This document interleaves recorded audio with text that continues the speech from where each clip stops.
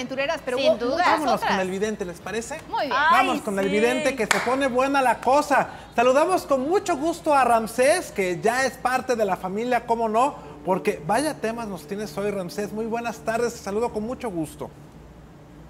¿Cómo están, compañeros, desde el otro lado del estudio? Para que vean que sí hay producción acá con el Eso. productor en Televisa Guadalajara. ¿Cómo están todos? Bien, Ramsés, ¿y tú? Bien, aquí después de después les voy a platicar. Creo que nos vamos a ir a- allá a la Ciudad de México, al programa hoy, pero después les platicamos. Ah, muy bien. Qué gusto, Ramsés. Platícanos, hemos seguido muy de cerca este caso de Héctor N. Finalmente le dan su sentencia. ¿Qué nos puedes decir al respecto con él? Para Héctor, eh, Héctor N, me sale muy marcado un cambio en esta situación legal. Recuerden que aquí comentamos que él no iba a salir de prisión. Claro. Aquí se habla como que alguien, un abogado, va a tomar este asunto para hacer una biografía de lo que él vivió. Alguien lo va a ayudar con una, ya saben que aquí no hay pies sin guarache, una persona lo va a ayudar con una doble intención de sacarlo de prisión y presentar su vida dentro de prisión. Aquí se habla de un audio o algo, un golpe bajo que vayan a estar sacando para defender al señor Héctor N. Yo lo veo que puede salir en diciembre con un amparo, pero se ve cambios de abogados, ¿ok? Ahora sí se ve que él puede salir, pero se ve un cambio de abogados. Mi querido Ramsés, Valeria Jackson, te saludo con gusto para que nos platiques también sobre uno de los cantantes favoritos de Latinoamérica y el mundo, Ricky Martin, porque presuntamente él habría abusado sexualmente de su sobrino. ¿Qué dicen las cartas? Aquí me sale una voz mentira, aquí sale mentiras, la carta de las mentiras, aquí hay una presión sobre un dinero, este joven está mintiendo y se habla de eh, una prueba psicoanálisis o un estudio de su mente que él está mal, como que él toma farma, eh, medicamentos o medicinas para la atención o para problemas mentales. Aquí se habla de un acuerdo económico, a lo mejor sale 1.5, puede ser un millón y medio de dólares o 15 mil dólares, vamos a ver, pero se habla de un acuerdo económico. Oye, ¿qué pasa con Luis Miguel? Porque sabemos que eh, tiene un nueva- una nueva relación, pero ¿y los hijos de Araceli Arámbula? Araceli ha dicho que no está pasando dinero y que incluso no tampoco convive con ellos. ¿Qué ves tú en esas cartas? Hasta le dijo cucaracho, creo. Claro, así veladamente le dijo Cucaracho, Rey Cucaracho.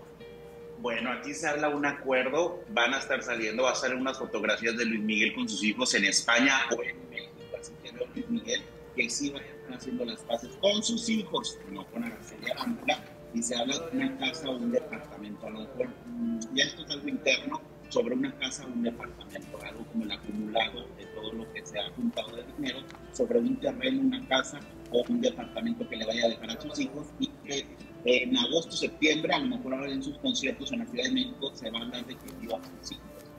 Vaya, hasta que va algo hace por los hijos, ¿no? Ya queremos, que haga algo. Oye, Ramsés, ¿y qué nos puedes decir de Edwin Cass? Pues que le está batallando con su salud. ¿Qué está pasando con él? Mira, para él, aquí hay una mujer, alguien que le está haciendo trabajos de la Santa Muerte, que hay brujería que le están haciendo a Edwin Cass, por eso eh, le ve una fractura en su pierna o una situación de salud.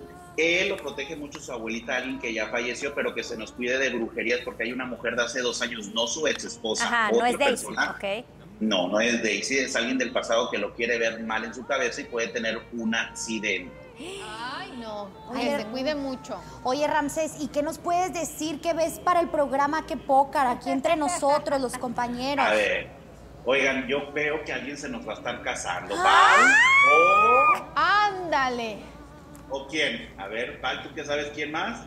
Va, pues Mira, mira, está- de de aquí rojo cualquiera se, puede casar, porque todo, ninguno está, está casado. Es Valeria, yo Pero a mí digo. se hace que Valeria tiene más posibilidades. ¿Qué ves en las cartas, amigo? Val, Val, que se nos puede estar casando, o nuestra compañera que se tapó la boquita. Sí, Cristina. ¿ves? Cristina, o- ahorita fuera del aire te digo con qué te limpies, mana, para que te llegue el matrimonio y se nos case. Igual que Briseño, oigan, que vengan al estudio, Briseño y Vega, los de Chivas, les falta una limpia. ¿Verdad, compañeras? Que nosotros lo limpiamos, ustedes lo limpian, ¿cierto o no? Briseño cómo a Vega de Chivas. No, no, no, va- antes de que se nos casen, no. Sí, caray, ¿eh? porque ese campeonato se nos fue de las manos. Ay, Briseño, si nos, si está viendo Briseño o pasen este video a Vega, que vengan al estudio y los limpiamos gratis, porque ellos van a ser campeones. Claro. Necesitan buena vibra. Muy Ay, bien. muchas gracias por tu buena vibra, Ramsés. Te mandamos un beso. ¡Mua! Hasta Tamaulipas estás ahorita. Hasta Tampico, Tamaulipas, Tampico. compañera. Ah, Todo. muy bien. Arriba, vámonos por una torta ahogada. Eso, Ándale. te te esperamos aquí con mucho gusto, Ramsés. Gracias como siempre. Ay, gracias, un beso. Pues seguimos con Shakira, Shakira. Así es, se trata de Gerard Piqué y Clara Chía porque hay fuertes rumores de que ya se van